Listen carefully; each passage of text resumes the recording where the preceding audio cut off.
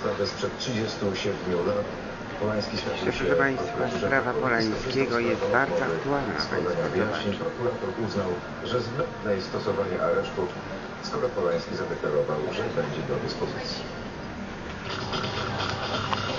swobodnie może poruszać się po terytorium naszego kraju, jak i przylatywać i wylatywać. powinno się stosować prawo równe dla wszystkich. I e, skoro ta umowa przewiduje coś takiego, Polska zdecydowała się na podpisanie tego typu umowy, która również do- dotyczy obywateli polskich, no to nie powinniśmy robić różnic do pana Polańskiego czy do kogokolwiek innego. Roman Polański jest obywatelem Polski. Jest zasada naczelna w kodeksie karnym, że obywateli polskich nie wydaje się obcemu państwu. o dokładnym przejrzeniu tych obydwu dokumentów i konstytucji i, i tej umowy ekstradycyjnej nie ma szans, żeby Amerykanie uzyskali ekstradycję Polańca z Polski. Mamy się do czynienia z ohydnym przestępstwem pedofilskim powinno mieć znaczenia tego, kto się go dopuścił. Nie widzę żadnego powodu, aby stosować podwójne standardy co do tego, kogo rzecz dotyczy.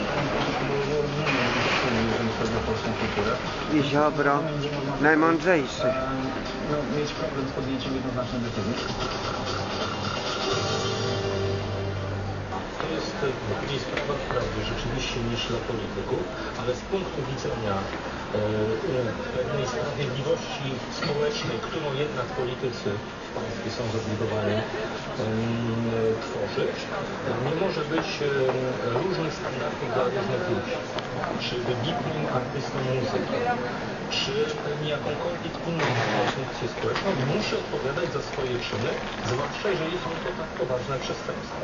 Skoro pan e, Polański takie przestępstwo popełnił, został za nie, przypomnijmy, prawomocnie skazany w Stanach Zjednoczonych, bo to nie jest tylko, że został oskarżony, on został za nie skazany, uciekł przed e, tak naprawdę odsiedzieniem. Został, panie pośle, proszę sobie przypomnieć, e, przeczytać o tej sprawie, być może pan po Czyli dyskusja, wie. proszę Państwa, w toku. Em, Dyskusja trwa. Czyli, że widzicie Państwo, Warszawa Zachodnia właściwie to jest no w środku, prawda? Polski to nie jest na zachodzie. Jest pomiędzy, proszę Państwa, tak samo jak i Polska jest też pomiędzy, prawda? Także jesteśmy y, w środku, czyli że jesteśmy pomiędzy. No dworzec zachodni nie jest na zachodzie, tylko jest może, jak to się mówi, na Ochocie.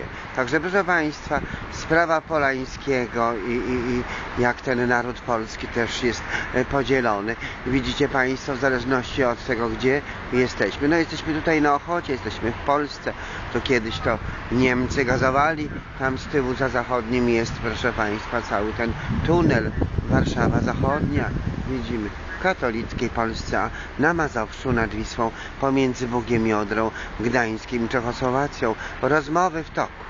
Wszędzie Polaczków pełno, tych wyznawców papieża Matki Boskiej, Osorbanowskiej, Częstochowskiej pełno, rzymskiej, łacińskiej, aby nie krymskiej, a jak u Mormonów byliśmy specjalnie, proszę Państwa, na obchodzie tramwajem, proszę Państwa, to u Mormonów ciemno. Mormoni wcale nie świętują, proszę Państwa, święci w dniach ostatnich, święci świadkowie, proszę Państwa, świadkowie Jehowy, stwórcy, nie wierzą w żadną nieśmiertelną duszę, a w ogóle to a propos do tych katolików, proszę Państwa, jeżeli tak się będą kłócić, no jak się można w ogóle modlić, proszę Państwa, do Boga, jak się nie zna Jego imienia? Przecież Kościół katolicki usunął tetragram, czwórkę, JHWH, a to trzeba przywrócić ten tetragram. To jest mi Jachwę, Jehowa Słowacki kordialnie używał. Także proszę nie róbcie z siebie żebraków. To jest tetragram, liczba 4, JHWH w Biblii ma być.